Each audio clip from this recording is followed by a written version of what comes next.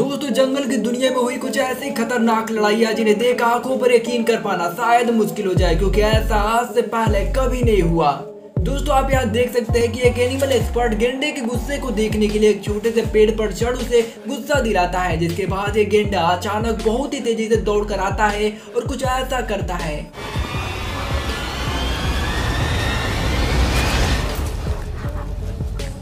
बाद इस animal expert की हवा निकल जाती है, पर इसके बाद उनके साथ इस गेंडे ने क्या किया होगा, वो आज भी एक रहस्य है, क्योंकि ये वीडियो यहीं पर खत्म हो जाती है। लेकिन इस हिरण को देख आपको यकीन हो जाएगा कि माँ की बराबरी कोई भी नहीं कर सकता। दरअसल इस वीडियो में दिख रहा है खतरनाक बबून इस हिरण के बच्चे को पकड़, उसे खाने के लिए ले जा रहा था, मगर ये माता हिरण अपनी जान की परवाह किए बिना इस खतरनाक बबून से अपने बच्चों को छुड़ाने का लगातार कोशिशें करी जा रही थी और उस पर लगातार वार कर रही थी। और भले ही इस वार का उस बबून पर कोई असर ना हो, पर वो अपने बच्चे को अपनी आँखों के सामने मौत के मुँह में जाते हुए कैसे देख सकती थी। लेकिन इस दृश्य को देख आपकी आँखें चौधी आ जाएँगी, क्योंकि इतिहास में शायद ऐसा पहली बार हुआ हो जब एक शेर अपनी जान बचाने के लिए भीगी बिल्ली बन गया।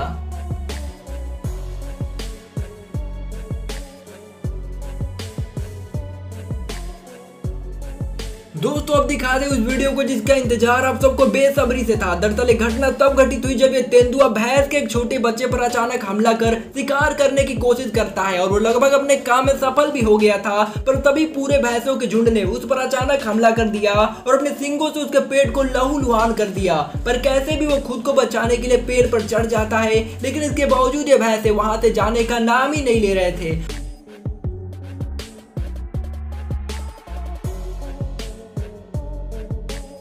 उसके बाद इस तेंदुए के साथ क्या हुआ होगा, आप हमें कमेंट करके ज़रूर बताइएगा। और ऐसे ही और वीडियोज़ को देखते रहने के लिए हमारे चैनल को सब्सक्राइब कर, हमारा सपोर्ट करना ना भूले। Thanks for watching this video